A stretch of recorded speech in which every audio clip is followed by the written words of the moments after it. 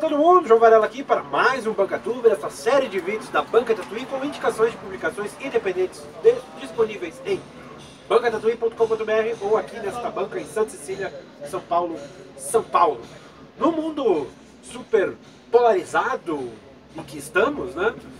Brasil e planeta Terra em geral, imagina resolver tudo na base do futebol.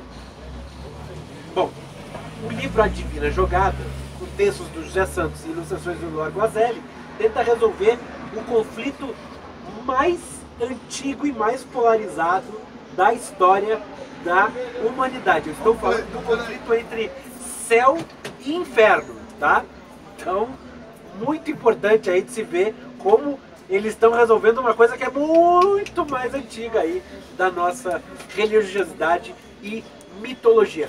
Esse livrão de capa dura foi editado pela, é, foi publicado pela editora Nós, e ele é grandalhão e a mão mágica está tendo alguma dificuldade para mostrar aí para os nossos espectadores. Eu espero que dê tudo certo no final.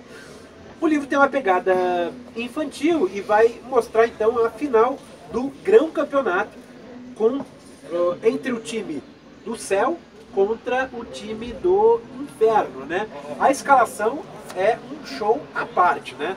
Tem uh, o Minotauro, Davi, Noé, Caim, São Francisco de Assis, entre outros craques absolutos, né? Vai lembrar um pouco a esquete do futebol dos filósofos do Monty Python. Para quem não conhece, vale uh, pesquisar e conhecer essa, essa esquete do grupo britânico de humor Monty Python. And as the two skippers come together to shake hands, we're ready for the start of this very exciting final. The referee, Mr. Confucius, checks his sand, and they're off. Nietzsche and Hegel there. Carl Jaspers, number seven on the outside. Wittgenstein there with him. There's Beckenbauer. Schelling's in there, Heidegger covering. Schopenhauer. And now it's the Greeks, Epicurus, Plotinus number six.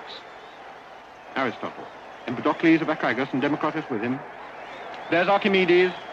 Socrates, there he is, Socrates. Socrates there, going through. There's a ball, there's a ball. We'll be bringing you back to this exciting contest. Bom, assim como a obra uh, do século XIV que inspira a Divina Jogada, que é a Divina Comédia do Dante, do poeta italiano Dante Alighieri, uh, o Santos criou a estrutura de texto do Divina Jogada em forma de tercetos, ou seja, estrofes com três versos e todos escritos em endecassílabos, ou seja, versos com 11 sílabas poéticas. Né? A rima vai ficar sempre na, no primeiro verso, na última sílaba do primeiro verso, com a última sílaba do uh, terceiro verso. Para mostrar um pouquinho como é que funciona essa dinâmica, eu vou ler um trechinho aqui, mão mágica, por favor. Muito obrigado. É, vou ler aqui um trechinho que eu achei bem legal. E é só questão de achar aqui. Um segundinho. Aqui, pronto. E já mostra alguns craques aqui no, no, nas equipes. Veja só. Abel, o Prob. O não existe, né? Vamos de novo. Abel, o pobre irmão de um tal Caim, o grande imperador Justiniano, e um ponta bem veloz, o Serafim. No purgatório, são muitos veteranos. Com a bola correr de pé em pé, ali o time azul é soberano. A Anguera da Carrinho Noé. Esse bandido é o rei do golpe baixo. De suas meias sai um mortal chulé.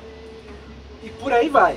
Eu sinto que essa questão das rimas e de uma métrica bem estabelecida, que, uh, e aí cada um dá a velocidade que bem deseja a leitura, é um prato cheio para pais que querem ler para os seus filhos. Né? Eu não sou pai, mas eu imagino que seja muito gostoso de fazer a sua própria, sua própria musicalidade na hora de ler para o seu pequeno ou pequena. Né? Bom, e falando um pouquinho das ilustrações, o Guazelli ah, fez os desenhos com base em aguada de nanquim.